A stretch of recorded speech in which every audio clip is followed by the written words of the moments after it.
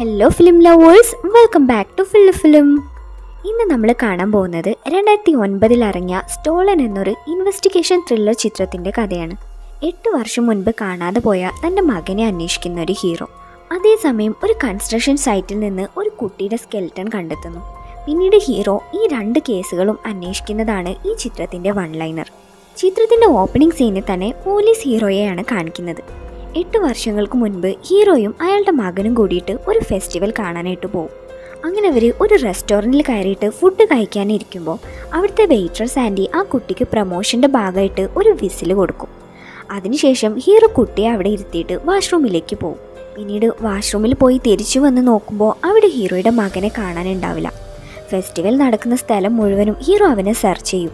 പക്ഷേ അവിടെയൊന്നും അവനെ കാണുന്നില്ല. മകന് മിസ്സായി എട്ട് വർഷം കഴിഞ്ഞിട്ടും പോലീസായിട്ട് കൂടെ ഹീറോക്ക് അവനെ കണ്ടെത്താനായിട്ട് കഴിഞ്ഞിട്ടില്ല. അടുത്തതായിട്ട് ഒരു കൺസ്ട്രക്ഷൻ സൈറ്റാണ് കാണിക്കുന്നത്. അവിടുത്തെ വർക്കേഴ്സ് കുഴി തോണ്ടിക്കൊണ്ടിരിക്കുമ്പോൾ മണ്ണിനടിയിൽ നിന്ന് അവർക്കൊരു ബോക്സ് കിട്ടും. അത് തുറന്ന് നോക്കുമ്പോൾ അതിനകത്ത് ഒരു ചെറിയ കുട്ടിയുടെ സ്കെൽറ്റൺ ആയിരിക്കും. ഉടനെ വർക്കേഴ്സ് പോലീസിനെ വിളിച്ചു വരുത്തും. പോലീസായ ഹീറോയും ആ സ്ഥലത്തേക്ക് എത്തും.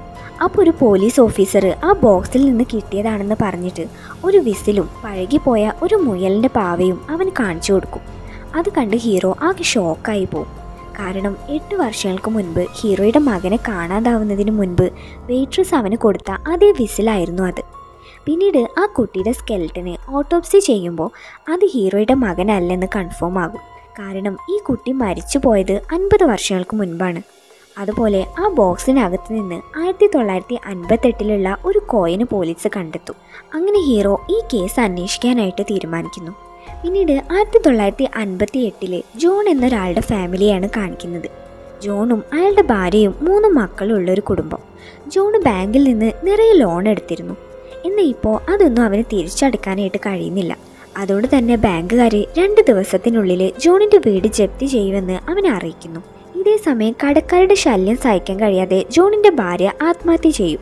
പിന്നീട് ജോണ് തന്റെ ഭാര്യയെ അടക്കം ചെയ്തതിന് ശേഷം ജോണിന്റെ മൂന്ന് മക്കളെയും കൂട്ടിയിട്ട് അവന്റെ ചേച്ചിയുടെ വീട്ടിലേക്ക് പോകും. പോകുന്ന വഴിക്ക് അവർ ഒരു റെസ്റ്റോറന്റിൽ ഭക്ഷണം കഴിക്കാനായിട്ട് കയറും. അപ്പോൾ അവിടെ ഉണ്ടായിരുന്ന ഒരു വെയിട്രസ് മൂന്ന് കുട്ടികൾക്കും മൂന്ന് വിസിൽ കൊടുക്കും. ഇതേപോലത്തെ വിസിൽ തന്നെയാണ് മിസ്സിംഗ് ആവുന്നതിന് മുൻപ് ഹീറോയുടെ മകനും വെയിട്രസ് കൊടുത്തത്. അങ്ങനെ അവർ ജോണിന്റെ ചേച്ചിയുടെ വീട്ടിലെത്തും.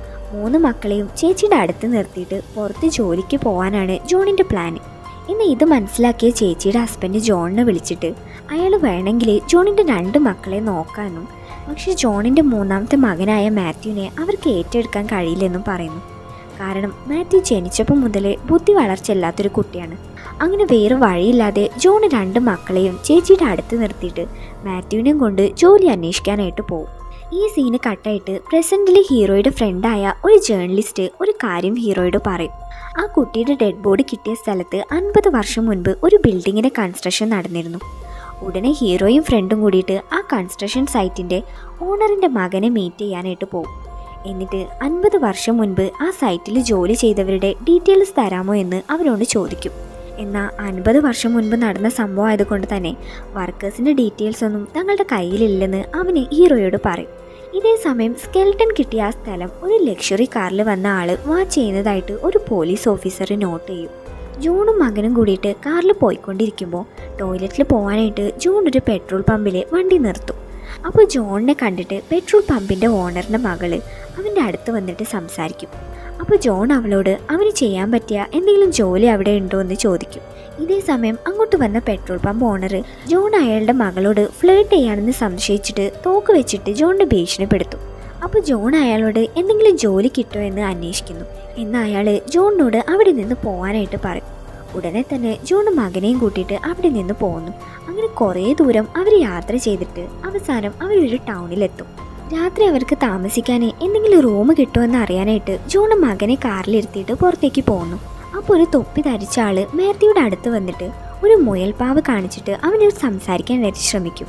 എന്നാൽ മാത്യു അയാളെ മൈൻഡ് ചെയ്യാതെ അടുത്തുള്ള ഒരു കടയിലെ എയ്റോപ്ലെയിൻ നോക്കിക്കൊണ്ടിരിക്കുകയാണ്. അങ്ങനെ കുറച്ച് സമയം കഴിഞ്ഞ് ജോൺ റൂമൊക്കെ കണ്ടുപിടിച്ചിട്ട് തിരിച്ച് കാറിലേക്ക് വന്ന് നോക്കുമ്പോൾ അവിടെ മാത്യുവിനെ കാണാനുണ്ടാവില്ല. പേടിച്ചു പോയ ജോണ് അവിടെയെല്ലാം അന്വേഷിക്കുമ്പോൾ മാത്യു എയ്റോപ്ലെയിനുള്ള ആ ഷോപ്പിന് മുൻപിൽ നിൽക്കുന്നതായിട്ട് ജോൺ കാണും. അപ്പോൾ മാത്യുവിന്റെ കയ്യിൽ ക്യാബ്മാൻ കൊടുത്ത ആ മുയൽപ്പാവ് ഉള്ളതായിട്ട് ജോൺ കാണുന്നു. കുറച്ചപ്പുറം മാറി നിന്നിട്ട് ക്യാബ്മാനെ ഇതൊക്കെ വാച്ച് ചെയ്തുകൊണ്ടിരിക്കുന്നത് നമുക്ക് കാണാം. അങ്ങനെ അന്ന് രാത്രി ജോണും മാത്യുവും അവിടെ ഒരു ഹോട്ടലിൽ താമസിക്കും. അങ്ങനെ അടുത്ത ദിവസം ജോണ് സ്കെൽട്ടൺ കിട്ടിയ കൺസ്ട്രക്ഷൻ സൈറ്റിലേക്ക് പോയിട്ട് എന്തെങ്കിലും ജോലി കിട്ടുമോ എന്ന് അന്വേഷിക്കുന്നു. അപ്പോൾ ആ സ്ഥലത്തിന്റെ ഓണർ അവിടെ ജോണിന് ജോലി കൊടുക്കും. അങ്ങനെ ജോണ് അവിടെ ജോലി ചെയ്യാനായിട്ട് തുടങ്ങുന്നു. അവിടെ ജോണിന് രണ്ട് കൂട്ടുകാരെ കിട്ടും. ഇയാളുടെ പേരാണ് മാർക്ക്. ഇതാണ് സാം.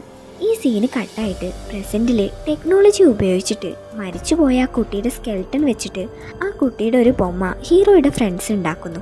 ആ കുട്ടിയെ കാണാൻ ജോണിന്റെ മകൻ മാത്യുവിന്റെ പോലെ തന്നെ ഉണ്ട്.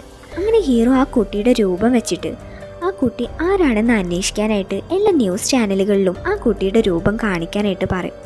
ഫ്ലാഷ് ബാക്കിൽ ജോണും മാർക്കും കൂടിയിട്ട് ഒരു ബാറിലിരുന്ന് കുടിച്ചുകൊണ്ടിരിക്കുമ്പോൾ അങ്ങോട്ട് പെട്രോൾ പമ്പ് ഓണറിന്റെ മകൾ റോസ് വരുന്നു. അവൾ ജോണിനോട് താല്പര്യമുള്ള പോലെ കൊഞ്ചു കൊഴിഞ്ഞ് സംസാരിക്കുന്നത് കണ്ട് മാർക്ക് ജോണിനോട് അവളെ പ്രപ്പോസ് ചെയ്യാനായിട്ട് ഒരു ഐഡിയ കൊടുക്കും. ജോണിനും റോസിനെ വല്ലാതെ ഇഷ്ടപ്പെടും. പിന്നീട് ജോണ് മാത്യുവിനെ കാറിൽ കിടത്തിയിട്ട് റോസിനോട് കല്യാണക്കാരൻ സംസാരിക്കാനായിട്ട് പോകാൻ നിൽക്കും.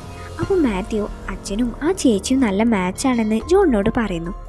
ഇത് കേട്ട സന്തോഷത്തിൽ ജോൺ റോസിന്റെ അടുത്തേക്ക് പോകും ഇതേ സമയം കാറിൽ കിടക്കുന്ന മാറ്റിന്റെ അടുത്തേക്ക് ക്യാബ്മാൻ വരുന്നതായിട്ട് കാണാം.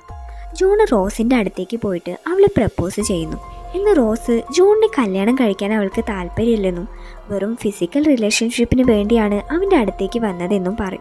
ഇത് കേട്ട് സങ്കടത്തിലായ ജോണ് കാറിലേക്ക് തിരിച്ചു വരുമ്പോൾ അവിടെ മാത്യുവിനെ കാണാനുണ്ടാവില്ല. ഉടനെ അവന് ബാറിനകത്ത് പോയിട്ട് അവിടെ എല്ലാം അവനെ അന്വേഷിക്കും. പക്ഷേ അവിടെയൊന്നും മാത്യുവിനെ കാണാനുണ്ടാവില്ല. ഉടനെ ജോണ് പോലീസിനെ വിവരം അറിയിക്കുന്നു.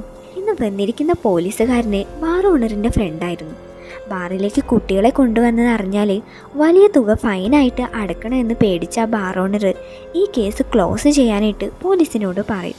പോലീസുകാരൻ കുട്ടി രണ്ട് ദിവസത്തിനുള്ളിൽ തിരിച്ചു വരുമെന്ന് പറഞ്ഞിട്ട് അവിടെ നിന്ന് പോകും ഇതേ സമയം ക്യാബ്മാനെ മാത്യുവിനെ കൊന്ന് ഒരു പെട്ടിയിലാക്കി കുഴിച്ചു മൂടുന്നു.